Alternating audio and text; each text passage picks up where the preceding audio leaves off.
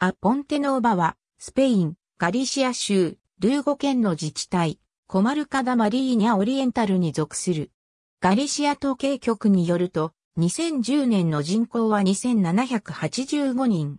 住民故障は、ポンティノブス、エサ。カスティーリャ語表記は、プエンテヌエボ。ガリシア語話者の自治体人口に占める割合は99.69%。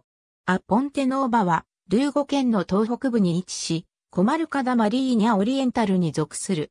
北はトラバーダと南はフォンサグラーダ、リベーラ・デ・ピキン、メーラと南から西はリオトルトの各自治体と隣接。東はアストリアス州と接している。自治体中心地区はアポンテノーバ教区のアポンテノーバ地区。アポンテノーバはモンドニエード司法管轄区に属す。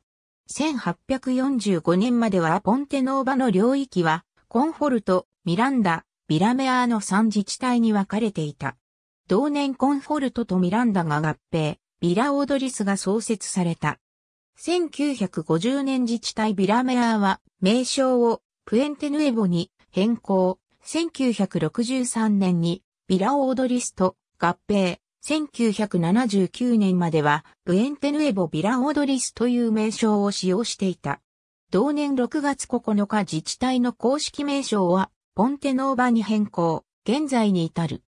自治体首長は、ガリシア社会党のダリオ・カンポスコンで、自治体評議員は、ガリシア社会党、6、ガリシア国民党、4、ガリシア民族主義ブロック、1となっている。